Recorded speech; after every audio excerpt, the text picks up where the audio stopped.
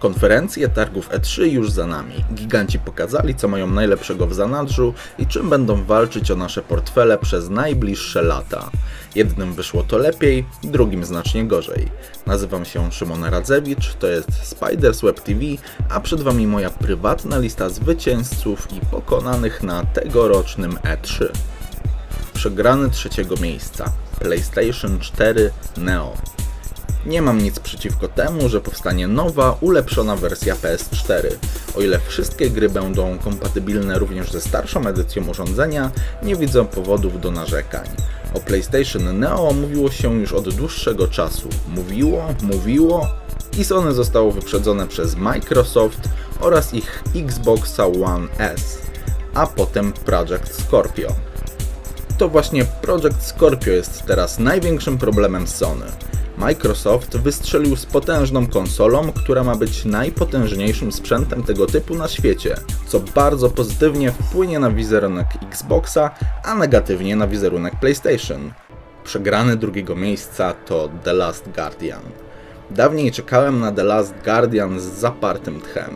Gra miała być szczytem możliwości PlayStation 3 Teraz jest brzydkim kaczątkiem na PlayStation 4 i zastanawiam się, czy naprawdę potrzebujemy tego tytułu. Gdyby nie szacunek do świetnych producentów Steam Ico, już dawno straciłbym zainteresowanie.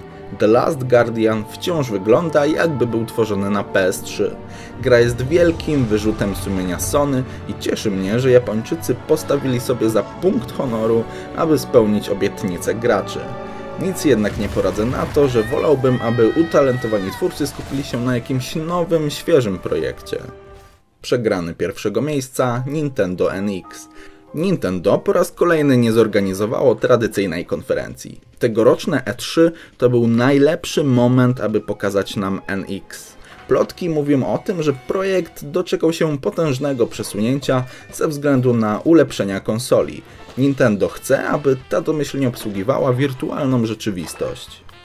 Nintendo po raz kolejny jest z tyłu, zamykając się w swoim własnym świecie. Mogli zbudować świetne momentum, ale całkowicie to zaprzepaścili. Kirby.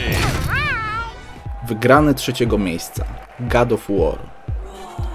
To, co stało się z marką God of War, przeszło moje najśmielsze oczekiwania. Pod koniec ery PlayStation 3 ta seria zaczęła zjadać własny ogon. Zaczęła być powtarzalna i bez widoków na jakąś rewolucję. Nie sądziłem, że da się tutaj wymyśleć coś nowego i odświeżającego, a jednak się da. God of War dla PlayStation 4 to nowe podejście do serii. Mocniejsze postawienie na narrację i emocje, zupełnie nowa kamera i sposób walki.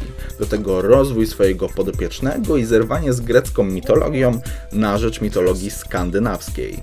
Wszystko to wygląda moim zdaniem po prostu rewelacyjnie. Z drugiej strony nie wiadomo nawet kiedy to nowe God of War powstanie.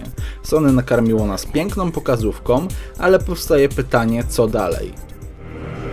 Feed us. Wygrany drugiego miejsca to PlayStation VR. Dotychczas PlayStation VR traktowałem jako egzotykę, jako coś bardzo ciekawego, ale w gruncie rzeczy niepotrzebnego. Myślałem, że ze względu na ograniczoną moc tych gogli, na VR będą wydawane mniejsze gry o skromniejszej warstwie wizualnej. Potem zobaczyłem zwiastun Resident Evil 7 i zagrałem w demo tej gry. Go. Jeżeli tak mają wyglądać gry w wirtualnej rzeczywistości Sony, to zmienia to sytuację. Gran Turismo Sport, Battlefront, Final Fantasy XV, wszystkie te wielkie gry będą w różnym stopniu wykorzystywać PSVR. To pierwszy raz, kiedy realnie myślę o kupnie tego produktu. Wciąż nie jestem do końca przekonany, ale w końcu zobaczyłem, że posiadanie PSVR może być naprawdę ciekawe. Szkoda tylko, że urządzenie kosztuje aż 400 euro. To cena, która dla wielu z nas będzie gigantyczną barierą. Wygrane pierwszego miejsca to my, gracze. Rywalizacja między Xboxem i PlayStation trwa w najlepsze. Korzystają na tym sami gracze. Widać to zwłaszcza na przykładzie Microsoftu i ich programu Play Anywhere. W przyszłości każdą kupioną grę Microsoftu uruchomimy zarówno na Xboxie, jak i na Windowsie 10. to dopiero komfortowa sytuacja. Sony zadbało o swoich widzów w inny sposób. Japończycy postawili na interakcję z widzami, oddając w ich ręce dema nowych Gwiezdnych Wojen oraz Resident Evil 7, jeszcze w czasie trwania konferencji.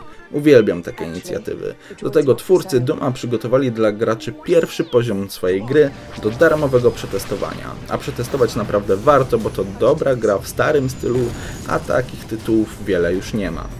To byli moi najwięksi zwycięzcy i moi najwięksi przegrani tegorocznych E3. Dajcie znać w komentarzach, co na Was zrobiło największe wrażenie. Może nowy Quake, Gears of War 4, Project Scorpio, Skyrim w HD? Z chęcią o tym przeczytam. Dzięki za uwagę i pamiętajcie, aby subskrybować Spidersweb TV.